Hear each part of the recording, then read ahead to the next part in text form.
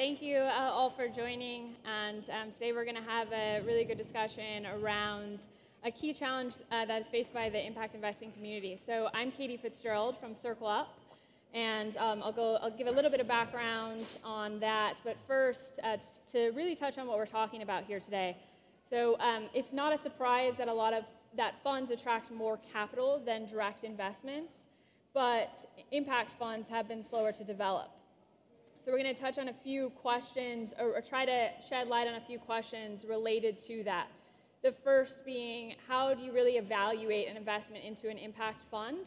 And the second being, how can GPs and LPs better navigate that conversation? To do this, we'll use uh, the Circle Up Growth Fund as a case study. And we will hear from a couple investors that considered an investment into the Circle Up Growth Fund. So Michael Grossman from New Island Capital and Nick Flores from the Caprock Group.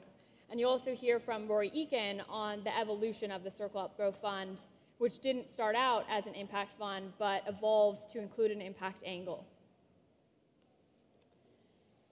So uh, shortly you'll hear from both Michael and Nick on how they came to their decision and how they um, thought about the Circle Up Growth Fund, and then we'll, we'll go to Rory. Um, before we, we dive in there, a brief background on Circle Up just to provide some context. We are an online investment platform and uh, very much a curated platform. So we accept a very small percentage of the companies that we see.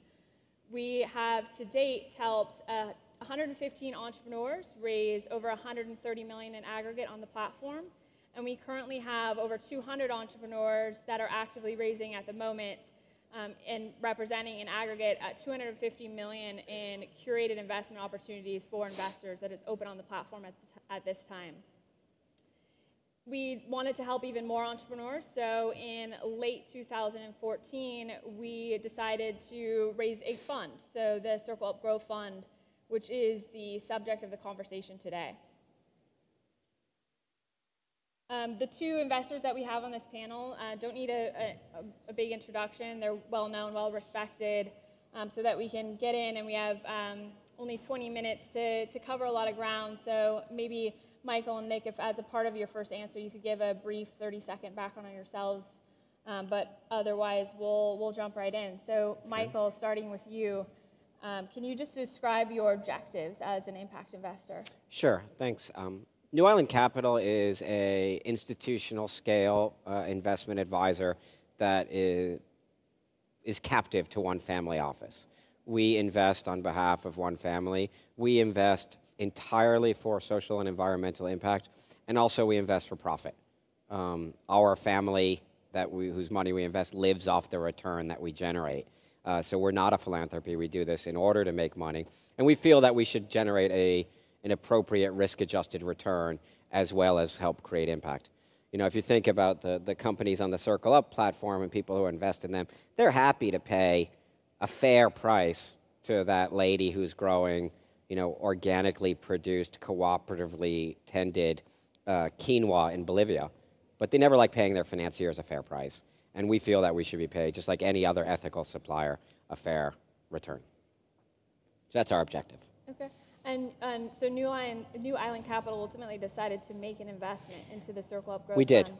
Can you talk about how, um, how that fit with your objectives? So it fits really well. So I mean, we are an inst- like I think, like I said, we are an institutional scale source of capital. So for us, we, we try to do large transactions, and for us, a large transaction is somewhere ideally between five and twenty-five million dollars.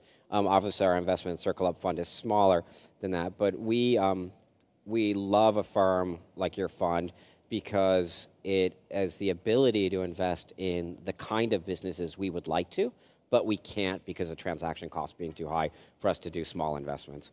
So if you look at the both why, why we're excited about this investment, both um, the market opportunity, the kind of companies you curate, the kind you invest in, the ability to operate within different parts of the capital stack, and also, frankly, the team that you brought to the table with a lot of experience looking at the kind of investments that you're that you are proposing. Great, thank you for that. And Nick, um, can you equally uh, give a 30 second back on yourself and sure. then um, also speak to your objectives as an impact investor? sure. So, my name is Nick Flores. Uh, the Caprock Group is a multifamily office. uh, unlike New Island Capital, we serve roughly 90 families and probably about 10 foundations. Many of the foundations are connected to the families that we uh, work on behalf of. Uh, we have probably about $3 billion in AUM, uh, one third of which has an impact mandate. And to your second question, sort of in terms of our uh, investment objectives, we share New Island's for profit motivation. Uh, and one of the reasons why we chose to take a pass on the Circle Up Growth Fund, a bit of a contrarian view here. I've known Rory for quite some time. We would have loved to have found a way to make it work. But we evaluate all opportunities first and foremost through a financial lens. Uh, so we look at things like the return profile, the correlation with other assets in our clients' portfolios, uh, liquidity, yield, all those sorts of various things. So I just want to make that clear that our orientation as a traditional multifamily office with impact investing expertise is that we evaluate everything first through the lens of financial. Uh, the next screen that we take is to sort of look at the impact strategy. And here we adhere to the GIIN's definition of an impact investment, uh, two core tenets of which are intentionality as well as measurability, or a commitment to measure uh, the environmental or social benefit that the investment ultimately seeks to catalyze. Uh, and I'll just try to keep my remarks brief on this point because we only have 20 minutes, and I know a lot of you want to probably get to the beer hour. Uh, that is really where sort of the consideration for the Circle Up Growth Fund stopped for us um, because I think, as Rory will likely admit, uh, at the beginning they didn't really have that intentionality. I think it started to grow and evolve as a result of the conversation with New Island Capital, but uh, and, and, although there have been uh, societal benefits, I think that result from uh, the, the capital that you all provide, we felt like it wasn't interwoven into the investment strategy like we like to see from a lot of the funds in which we invest. And so I think because of that, we felt like the impact that you all drive was more incidental than intentional. Uh, and that was really the reason why we passed on the opportunity for impact clients. Thanks. And Michael, do you have any comments on that, on intentionality and measurability, and how you saw that? Yeah, it's interesting. So our view is, I mean, I hate to say it, almost the exact opposite.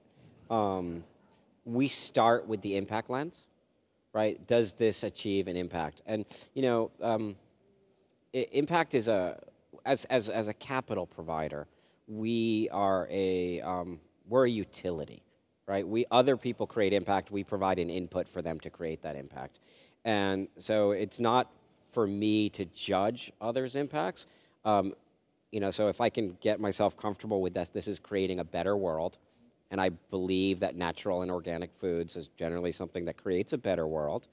Um, then we'll start looking at the finances, right? right? And we will you know, same thing. We're very rigorous and very disciplined about the financing of it, but we do seek to have, um, you know, the first step for us will be does it make does it make the world a better place in line with the values of our shareholders? Um, in terms of measurement, um, that's not something you know. Again, lucky. We're uh, great, great, great, good fortune of having of working for some one individual, so we can tell stories. We don't have to measure. Um, and it makes it a lot easier. I mean, it really, really does. Sure. Right? I would imagine for you as well as your investees. It, very much so, because I mean, we, the, one of our fundamental beliefs is a, is a concept of convergence. So, as financial return increases, impact increases, and as impact increases, financial return increases. So, we'll ask our, our investees to measure things that they're measuring already, because it's the kind of things that they're measuring to manage a business. Right. Um, so yeah, in the kind of like that, that big GIIRS book thing, that's not um. no that's offense on, to any GIIRS person who's. That's yeah. not on your desk. No. I get it. Rory, can you talk about the evolution of the Circle Up Growth Fund and how it came to involve an impact angle? Yes, absolutely. So it's fascinating to hear uh, two so thoughtful investors on the space, and, and just thanks for having us and, and, to have this dialogue because it was a really interesting case study for us in, in many ways. We started out to raise this fund not with an impact lens. Um, in fact, one of our philosophies was, was to raise, and we think about scale a lot at Circle Up, to raise as much capital for the entrepreneurs on the site as we could. We didn't want to lead with that lens and that term of impact for fear of being able to turn off potential strictly uh, financial motivated investors. We wanted to aggregate as much capital as, as could move towards those entrepreneurs in the risk adjusted way for a financial return. But in talking with a number of folks, including Caprock and, and New Island, we were being asked the question well, what is the impact of, of the work? And, and, and being asked, could we codify that in some of our agreements? So, with New Island, in fact, they were saying, well, here's how we think about impact. Does a majority of the capital go towards things like B Corps or natural organic foods or, or, local sustainable food enterprise systems. And we went back into our data from the last two years of the, just on the platform naturally, and we found that that was, in fact, where a majority of the capital was going. So we were able to make commitments to some of our LPs then in the fund without being forced in a, in a difficult trade-off of changing our strategy. Uh, so with the Circle Up Growth Fund, Nick's exactly right. We did not have that ex ante intentionality around it. But Michael's made a good point. When we looked at the data, we felt we, we could honor what New Island seeks to do with its capital in terms of um, helping uh, a number of entrepreneurs we wouldn't otherwise do. And so we don't know how it'll come out. can I pick up on something that yeah. you just said? Uh, help a lot of entrepreneurs that you otherwise would not. So, how did New Island's participation change perhaps the yep. investment strategy, if at all? Uh, I mean, by uh, with the fund overall. So it Got didn't it. change. That, what's one of the core things towards all of our LPs is it, it didn't fundamentally alter, alter okay. the investment strategy of the fund, which is is to align with the overall platform. So we had a thesis on the fund that a lot of investors on the platform are making their own, doing their own diligence and investing, and we wanted a fund to mirror the platform to the extent it could. But to have a fund overall with participation from investors like New Island was able to amplify the effort overall. And I, would like to also say there's something like we're at a point right now where I, and you might not be aware of this, but where there's something that's happening that I think is really exciting, um, both for us and for you and for the industry at large, which is we are talking independently of the Circle Up relationship. We're talking to one of your portfolio companies at a fairly large debt facility right? and, Yeah. and so you took a company that couldn't get necessarily capital, and you incubated it, you grew it, you spent some time, and now it's a company that can actually have a conversation with somebody like us about doing a fairly large growth facility for them to grow their business. And that opportunity doesn't exist without Circle Maybe it does, but I mean, likely it doesn't. And um, so that impact is also really, for us, really exciting because this transition from early, early stage to growth, and then from growth to stability. Um, as a, my principal business is lending, and as a lender, having, finding opportunities where there's somebody who's thoughtful, intelligent capital who's worked with the companies to get to a stage where they can actually extend their impact by extending their financing is, is when we like to intervene. So it's, we're really excited about that. You mentioned that you saw the impact kind of naturally playing out with the companies that Circle Up works with on the platform. Do you think Circle Up has is that any advantage there, and what might create that advantage? Well, we we only do consumer products and retail, so there is one element here that because the industries we focus on naturally it, there's a mo- momentum in that space for more impact oriented. Consumers are shifting their buying behavior. So, what makes a good investment from a financial perspective is also riding tailwinds of the impact community, including many of the consumers and investors and, and folks in this room now. So, example of um, some of the portfolio companies that we've developed through this fund now include B Corps, include um, Smarty Pants Vitamin, which is a, is a, a gummy vitamin uh, company, which is a one to one match on uh, with Vitamin Angels, providing nutrients um, as, as part of their mission um, uh, throughout the world. That's gone on to raise subsequently from a private equity firm that's strictly looking for to maximize value uh, for their shareholders outside the impact lens, but it's riding the same consumer tailwinds.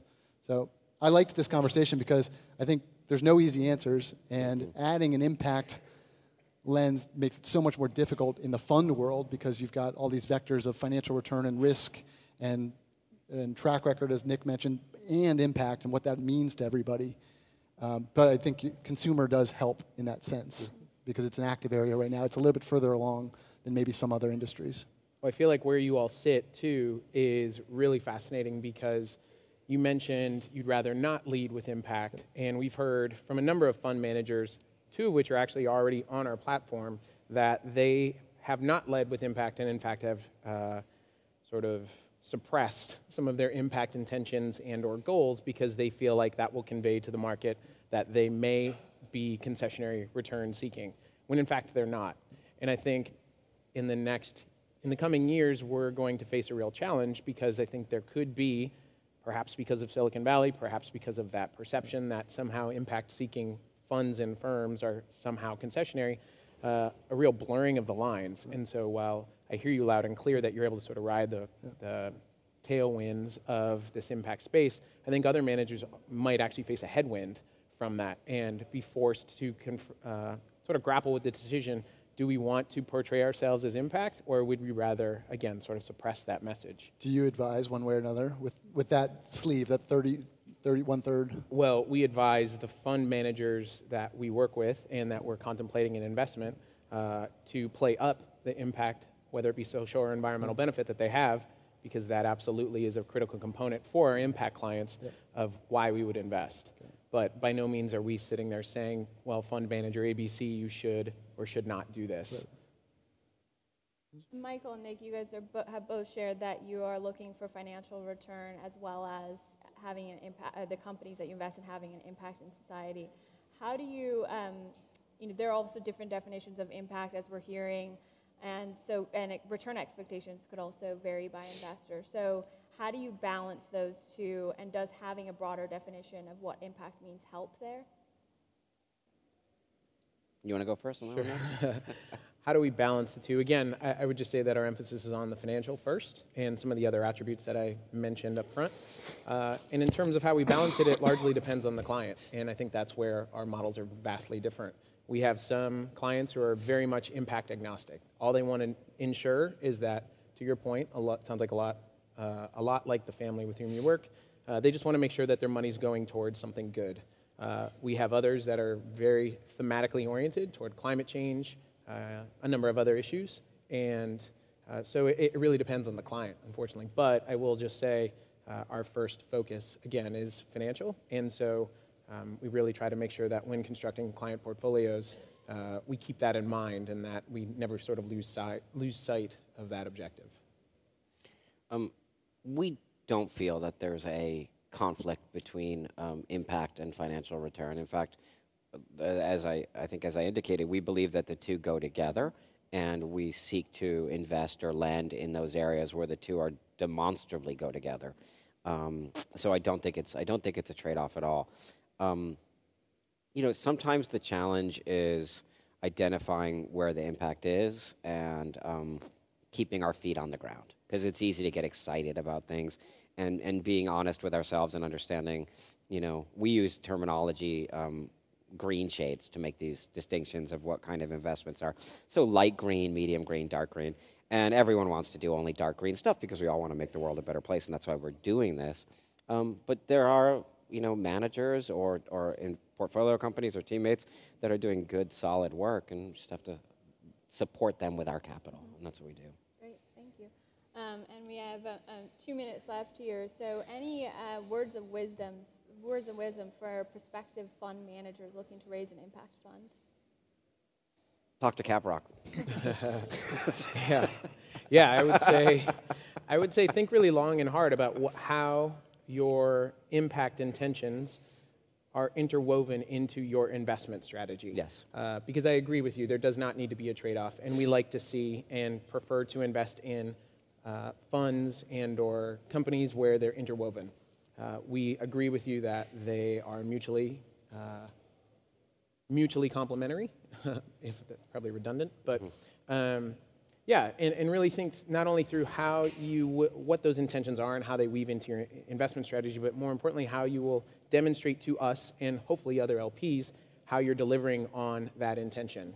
Uh, so we're big proponents of data to, to tell that story, but uh, I think it's really important that entrepreneurs and fund managers alike think through sort of how they're going to demonstrate convincingly that they're doing what they set out to do, because we'll certainly look for it my take was ask questions and learn. I mean, so much of this was figuring out the dialogue and the right framework for the, where the investor's trying to optimize for and what they care about. So it, it really was, in our experience, more of a, an opening and finding the right fit with different types of investors.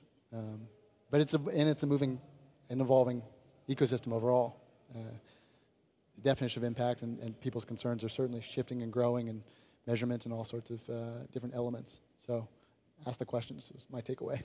Um, and I guess the one bit of advice I'll give is, is um, and this is going to sound counterintuitive if you consider what we're trying to do, uh, but be patient, right? I mean, um, environmental impact is easier to achieve than social impact. Social impact takes time, sometimes generational time. And so deploy capital intelligently, rigorously, and slowly, and do it right so that the second time you do it, you can do it larger than the first time. Everyone's in a hurry to do one great big fund, and I think one of the great things about this growth fund is that it was a reasonable size to start with. It was a bite size that you guys could handle and deploy. Well, thank you all again for being here, and thank you to our expert panelists. Thank you. Thanks, Katie. That's it.